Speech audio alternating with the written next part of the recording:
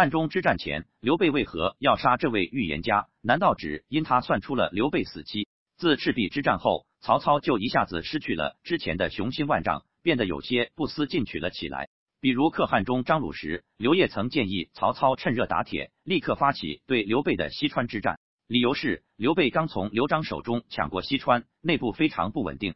可惜曹操却拒绝了。对曹操这种罕见的短视，连刘备身边的法正都感觉不可思议，因此判断出了曹操的内部必是发生了大问题，不然曹操才不会舍弃这个千载难逢的消灭刘备的好时机呢。对此，刘备也心知肚明，所以经过两三年在西川的经营后，便在诸葛亮和法正的建议下，把目光盯住了汉中。由此，曹操和刘备的汉中大战眼看就要一触即发了。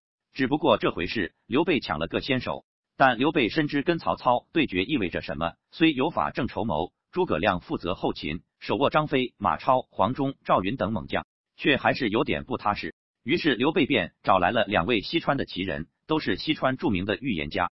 第一位叫周群，当年刘璋就经常询问他一些事，在西川拥有非常高的知名度。刘备找来周群，说出自己想攻取汉中后，周群道：若现在攻取汉中的话，占据汉中这块地盘是没啥问题的。真正的问题是，恐怕没法得到汉中的百姓，所以还是要慎重为好，不是太有利。刘备听闻后有些不高兴了，须知打仗打的就是要得到资源，包括土地和人口，缺一不可。如今攻取汉中，却只能得到土地，没法得到汉中百姓，这叫什么仗？堪称得不偿失。因为既不能以战养战，也不能增加战争潜力、人口基数，所以周群的这个预言就是变相告知刘备，汉中之战不能打，得不偿失。那么周群说对了吗？还真说对了。曹操兵败汉中撤军时，就掳走了汉中的百姓。刘备果真是只得其地，未得其民。但刘备还是不甘心，就又找来另一位奇人。此人名叫张玉。说实话，张玉虽名声没有周群大，却比周群更有本事，且比周群更有个性。当年刘备进川时，刘璋曾带着他一同款待过刘备。听闻张玉的天才后，刘备一瞅张玉的模样，差点乐了。因为张玉的脸上都长满了胡须，刘备就调侃了一句张玉，哪料张玉立刻反唇相讥，嘲笑刘备胡须稀疏，潜台词就是跟个女人似的。好在刘备根本不记仇，占据西川后，升任张玉为后部司马。如今听闻刘备想夺汉中后，张玉立刻反对道：“千万不能去夺汉中，这不是什么有利的好事。”可至于为啥不利，张玉却又没说清楚，只含糊的说于军不利。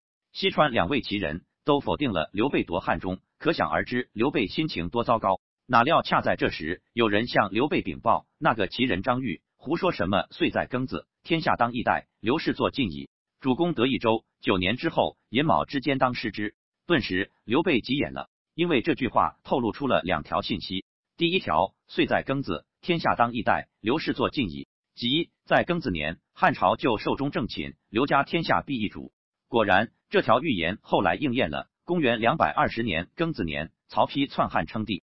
第二条，主公得益州，九年之后，寅卯之间当失之。主公就是刘备。意思是说，刘备得到西川九年后，便会失去西川，所以刘备能不急眼才怪。莫非你张玉所说的于军不利，就是指我刘备夺汉中之战会败给曹操，然后被曹操揍出西川吗？此刻的刘备已经下定决心发动汉中之战了，自然这样的消息就相当于扰乱军心了。故而刘备二话不说杀了张玉，虽有诸葛亮来求情，但也没能阻止。从刘备杀张玉这事来看，显然并不只是张玉算出了他的死期。须知刘备这一辈子死里逃生是家常便饭，他才不信这些呢。刘备只不过是想从周群和张玉这里拿走天命罢了，即希望周群和张玉说出吉利话，刘备大肆渲染，用于鼓舞士气。可哪料这两人却一个比一个实在。如今的问题是，张玉所预言的这第二条应验了吗？果真应验了。就在刘备击败曹操夺得汉中后。不到一年，关羽便趁势对发动了襄樊之战，并水淹七军，威震华夏。可随后便遭东吴偷袭，一溃千里，兵败被杀。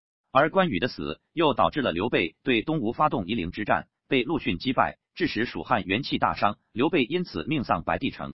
果然是刘备夺得西川后的第九年，刘备失去了西川。原来张玉那句“主公得一州，九年之后，寅卯之间当失之”，不是说刘备会兵败给曹操。而是预言，若刘备执意攻取汉中，便死期将至。此事出自《三国志》的记载，虽笔者对这类过于稀奇古怪的事持有姑且一听的态度，但有时也不得不叹息一声：自古中华多奇事，如周群和张玉这类奇人，谁又能完全否认他们呢？